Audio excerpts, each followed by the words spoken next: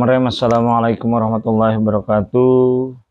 Salam spiritual, salam rahayu buat para sedulurku semua. Jangan lupa salam kopi pahit biar hatinya tidak julid dan rezekinya tidak sulit untuk para sedulurku semua ya.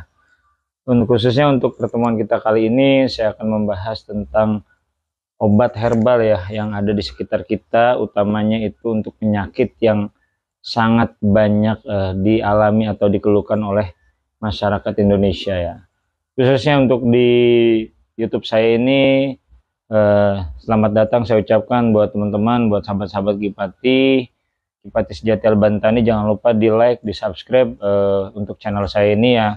Dukung terus dan simak terus video-video saya agar saya bersemangat dalam membuat video-video selanjutnya ya.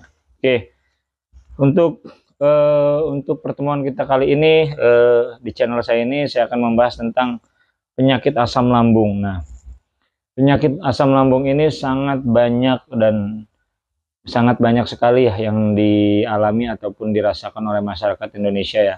Utamanya eh, penyakit asam lambung ini banyak dari pikiran, dari pola makan yang telat, dari eh, banyak faktor ya. Nah, di sini saya akan memberikan solusinya dan obat ini sangat mudah dicari, efeknya pun sangat eh, tajrib ya, sangat eh, berkhasiat banget buat para sedulurku semua boleh dicoba yang sedang mengalami penyakit asam lambung, asam lambung kronis ataupun baru mau menjalani ataupun gejala asam lambung, boleh nanti dicoba nih ya.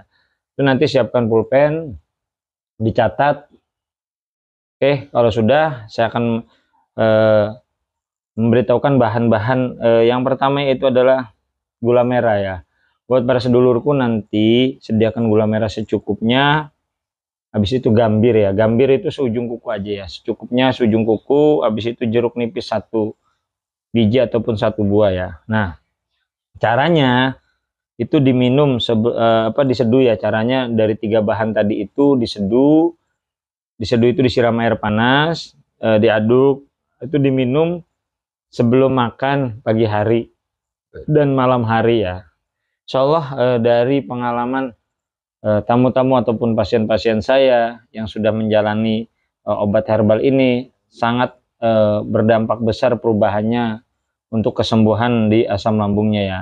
Mungkin uh, jangan lupa di-share, dibagikan untuk video saya ini biar lebih bermanfaat lagi, biar uh, para sedulurku semua juga yang sedang mengalami uh, penyakit ataupun penderitaan uh, obat asam lambung ini apa penyakit asam lambung ini cepat ataupun lekas sembuh ya. Oke. Mungkin seperti itu aja ya para sedulurku untuk uh, penyembuhan secara herbal yang saya berikan yaitu obat asam lambung yang dari bumbu-bumbu dapur ataupun uh, sangat mudah dijumpai di uh, sekitaran kita ya. Mungkin seperti itu aja uh, untuk para sedulurku. Kurang lebihnya saya mohon maaf apabila ada kata-kata saya uh, yang tidak baik ataupun uh, tidak kurang bagus ya dalam penyusunan kata dan saya mohon ampun kepada Allah. Semoga nanti di pertemuan selanjutnya saya bisa memberikan eh, resep-resep uh, herbal lainnya untuk para sedulurku dalam menangani permasalahan atau penyakit yang sedang dihadapi ya. Kurang lebihnya seperti itu aja. Uh, saya ucapkan wassalamualaikum warahmatullahi wabarakatuh. Salam spiritual rahayu rahayu rahayu.